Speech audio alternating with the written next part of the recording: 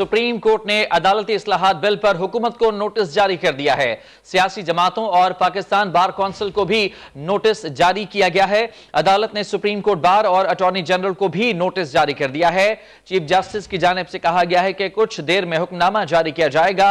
ज़रूरी हुआ तो अदालती मावन भी मुकर करेंगे। मजीद बात करेंगे समा के नुमाइंदे शहजाद अली इस वक्त हमारे साथ मौजूद हैं। शहजाद बताएगा इस मामले की क्या अपडेट है आपके पास? जी, बिल्कुल अदालती इस्लाहात बिल के खिलाफ हम जो उन पर चीफ जस्टिस की सबराई में आठ टुकड़ी लार्जेस्ट बेंच ने समाप्त की। इस वक्त जो है वो जो वकील थे राजा आमिराबाद के इम्तियाज़ सदीकी उन्होंने अपने दलाइल दिए। दलाइल के बाद जो है वो अदालत ने इस वक्त सुप्रीम कोर्ट बार और अटॉर्नी जनरल को भी नोटिस जारी कर दिए हैं। चीफ जस्टिस ने ये रिमार्क किए हैं कि कुछ देर में हुक्मनामा भी जारी किया जाएगा। चीफ जस्टिस ने यह भी रिमार्क की है कि ज़रूरी हुआ तो अदालती मावन भी मुकर किए जाएँगे। अहम मुकदमा है जिसमें अदियत की आज़ादी का नुकता उठाया गया है। पार्लियामेंट का बेहद एहतराम करते हैं। चीफ जस्टिस ने यह भी वाजे किया कि अदालत एक्ट का जायजा लेना चाहती है।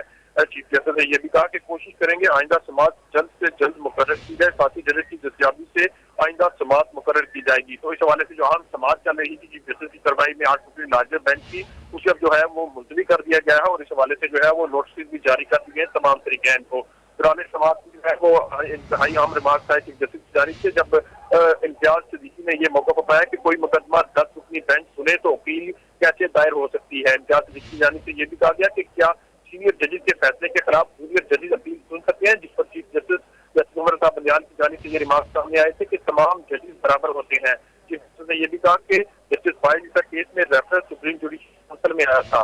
इम्तियाज़ सदीकी ने में ये कहा कि सीनियर तीन जजेस रेफरेंस पर समाप्त कर रहे थे। कोर्ट ने रेफरेंस से पहले ही अदालती जो हुक्म है, उसको जो है वो कैसे करार दिया जा सकता है? इम्तियाज़ सदीकी की जाने से ये भी मौके पर सामने आया कि मौजूदा केस में बिल की मंजूरी से पहले जो है वो मराहल का जायजा लिया जाना चाहिए। मौजूदा केस में अदालत से क्या चाहते हैं? जस्टिस मजीद की जाने से गिरफ़्तार किया गया। इस पर इम्तियाज़ वकील ने यह कहा कि supreme court practice and procedure bill गैर आईनी करार दिया जाए। तो इस हवाले से जो है वो अब तमाम तरीके को नोटिस जारी करते हुए अदालत जो है इस केस की समाज जो है मुलतवी कर दी है। जी। ठीक, बहुत शुक्रिया आपका तफसलात के लिए शहजाद। तो यह अहम खबर आपको दे रहे हैं, सुप्रीम कोर्ट ने अदालती असलाहत बिल पर हुकूमत को नोटिस जारी कर दिया है। मजीद बात करेंगे, इस वक्त हमारे साथ ब्यूरो चीफ इस्लामाबाद खालिद अजीम साहब भी मौजूद हैं। खालिद साहब, बहुत शुक्रिया वक्त देने के लिए। ये समात अब मुलतवी हो चुकी है। अहम खबर यह है कि सुप्रीम कोर्ट ने इस बिल पर हुकूमत को नोटिस जारी कर दिया है। क्या कहना चाहेंगे? अब मजीद आगे ये मामला किस जानब जाता दिखाई दे रहा है? जी, यकीनी तौर पे जाएगा। हम तो ये तो कर रहे थे कि शायद आज इंटरम रिलीफ या जो पटिशनर है, उनको मिल जाए और इसको सस्पेंड कर दिया जाए, लेकिन ऐसा नहीं किया अदालत ने और अदालत ने ये बेहतर समझा है कि वो इससे पहले नोटिस जारी करे, जो मुतल अफ्रीकैन है। और हमारी इतला के मुताबिक सदर वज़ीर अजम और जो पोलिटिकल पार्टीज़ हैं, उनको और उसके साथ साथ जो पाकिस्तान बार कौंसिल है उसको नोटिस जारी किया गया है। अभी उसकी डेट सामने नहीं आई।